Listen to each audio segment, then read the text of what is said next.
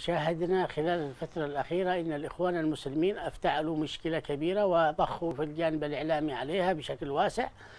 وهم يدركون تماما على أنه غزونا المخلافي والقيادات الإخوان المسلمين تدخل وتخرج بشكل يومي من من منطقة عصيفرة إلى منطقة الحوبان وهناك دخول وخروج للقوات الموجودة هناك في عصيفرة وكلابة آه، بشكل آه، يعني آه، بشكل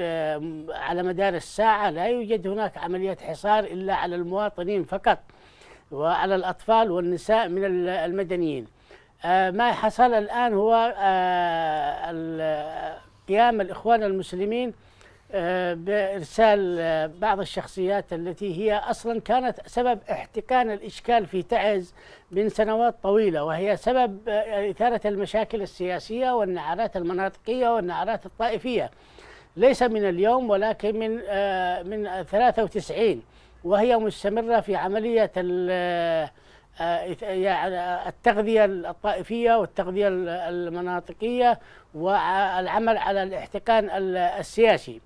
نعم. وما تم إلى إلى إن تم اتخاذ القرار في الرياض بضرورة على أن تعز آه، يتم آه، يعني إعادة التنمية فيها وإعادة الاستقرار داخل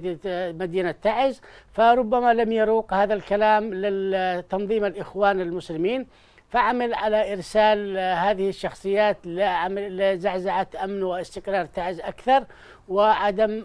وضمان عدم خروجها من يد الإخوان التنظيم الدولي.